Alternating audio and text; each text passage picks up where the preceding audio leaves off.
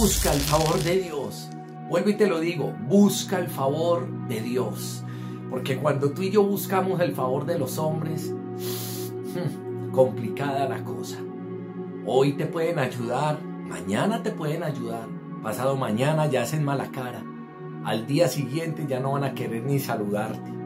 Pero si tú buscas el favor de Dios, vas a tener todo en para buscar el favor de Dios debo de tener un corazón rendido, reconocerlo a Él, de que dependemos de Él, cuando le, decimos a Él que Él es nuestro soberano, que Él es nuestro sustentador, que Él es el que nos provee, que Él es nuestro sanador, que Él es nuestro Padre, cuando tú y yo hacemos eso delante de Él, ahí encontramos el favor de Dios. ¿Y qué es el favor de Dios? Andar bajo la guianza del Espíritu Santo.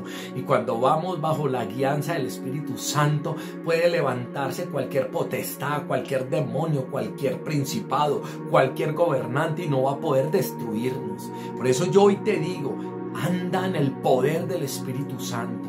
Hay una palabra muy tremenda acá donde nos está diciendo que busquemos el favor de Dios en Proverbios 8, versículo 35 y nos dice, porque el que me halle, escucha, el que me halle, no todo el mundo lo va a hallar, el que me halle, ¿estás tú dispuesto a hallarlo? Y para hallarlo tengo que tener un corazón rendido, porque el que me halle hallará la vida, escucha, la verdadera vida. Tú y yo y muchos millones de almas en la tierra están vivos hoy, pero andan como muertos vivientes. Dice, hallará la vida y alcanzará el favor de Jehová ¡Wow! Tremendo esta parte. ¿Por qué? Hallará el favor de Jehová.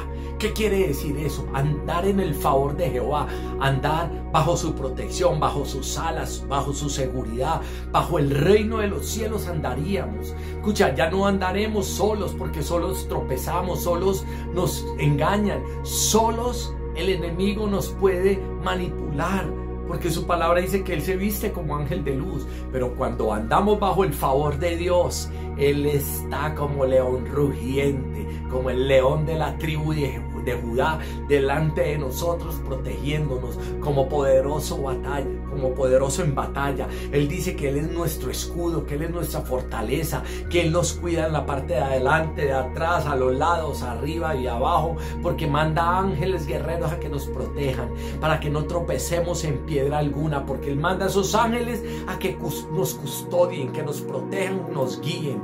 Por eso necesitamos vivir de su presencia. Déjate guiar por su gloria. Déjate someterte a su palabra y vas a ver que la presencia del Altísimo va a habitar. El fin, el fin de su palabra es que vivamos y busquemos el favor de Dios. Él está dispuesto a bendecirte. Él está dispuesto a querer guiarte en todas las áreas de tu vida. Solamente dile hoy, Padre, en el nombre de Cristo Jesús, hoy yo me rindo ante tu presencia. Hoy permito que el Espíritu Santo tome control de mí y que seas tú el que me guíes en todas las áreas. No me quiero mover sin tener la voluntad o, la decisión del Espíritu Santo en mi vida. Tú eres un Dios que escucha. Tú eres un hermano que nos protege. Tú eres un consolador que nunca nos abandona. Por eso hoy nos rendimos a tu presencia y hoy buscamos el favor de Jehová Jireh, de nuestro Salvador, nuestro Redentor, nuestro amado Jesucristo. Muchas bendiciones.